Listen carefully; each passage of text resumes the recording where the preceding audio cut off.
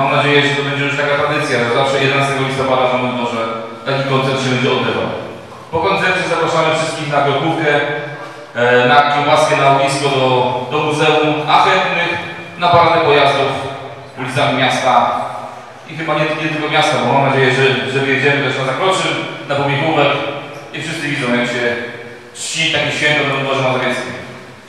Jadą husarze od pracy,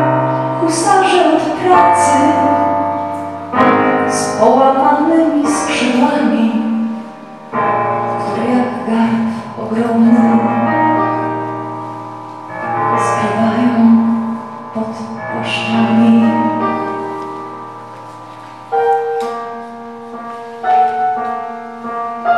A te skrzydła